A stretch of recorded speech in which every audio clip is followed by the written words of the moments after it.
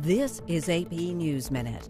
A plane carrying Americans from a quarantine cruise ship in Japan landed in California. A second plane landed in Texas. More than 300 Americans will have to remain in quarantine for two weeks. Most of the Democratic presidential candidates are focused on Nevada ahead of that state's upcoming caucus. A number of candidates accused billionaire Mike Bloomberg of trying to buy the election and said they want to debate him.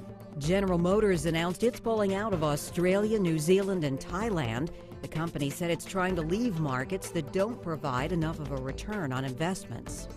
The overflowing Pearl River is rising, threatening to flood more parts of Jackson, Mississippi.